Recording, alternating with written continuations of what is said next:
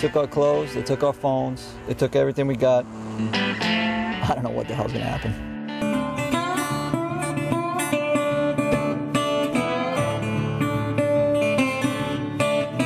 The four of us have been on a vacation before. About 12 years ago now, the same group of guys went out to Montana. My name is Michael Frech. I'm Brad Tuttle. Jim Santora. Keith Moynihan. Megan is always like, you know how you get when you know you're not around me, so please just. and I said, how do I get when I'm not around you? You know what I'm talking about. Everybody's married, lives in different locations now, and going to be able to get back together, and this is awesome. The Explorer kind of fits the lifestyle. Keep packing up with stuff and, and head out, do your activities, and it fits the go-do adventure. The interesting part of the whole trip is we don't know what the hell's going on.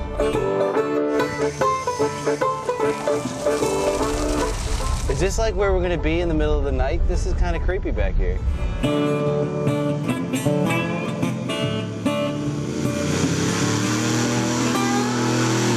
Gentlemen, get over here. How are you? I'm Byron. Nice to meet you. Y'all know what you're in for? No. No. no. Come on, beautiful Louisiana swamp here. Oh, that's where we're Out in the bayou? it. I think we're gonna be heading out that way. You know, know what you're gonna do out there tonight? Gonna spend the night? Survive? I'm here to help you with your adventure today. Holy bejesus. All right. Byron. I don't have the right shoes. On three. Ready? One, two, three. Hoorah! Now we're ready, guys.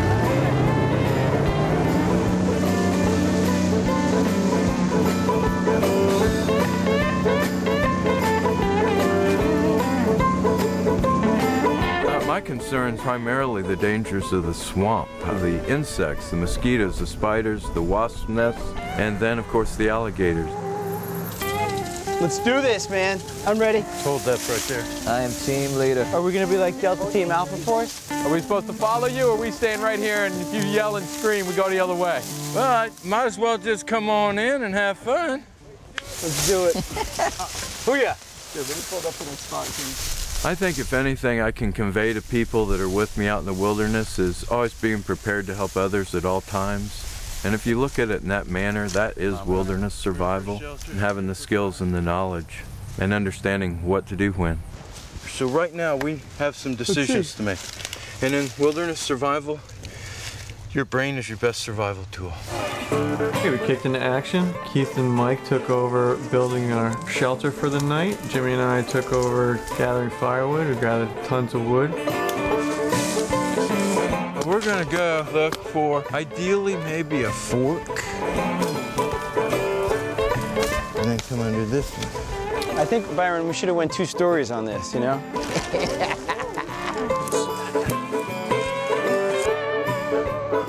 hoping to get the fire going before it gets dark.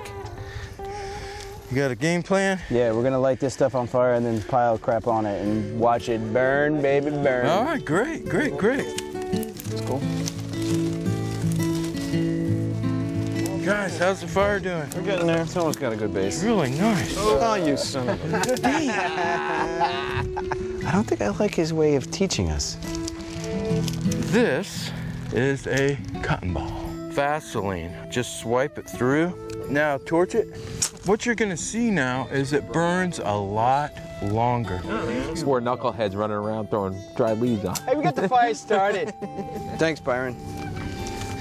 I really feel bad about pouring water on your No, fire. you Uh, don't. yeah, it's gonna break in your heart, I'm sure. Oh, come on. Guys, Thanks, I'm out of here.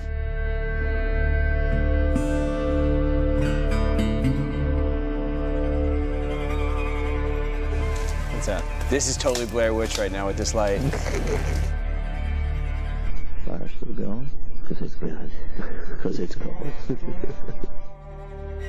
what time is it? It's 6.40. Oh, nice. The light just starting to creep over the horizon. So there's light at the end of the tunnel. gets pretty cold. We kept the fire going the whole night. it was a little bit nippy out here.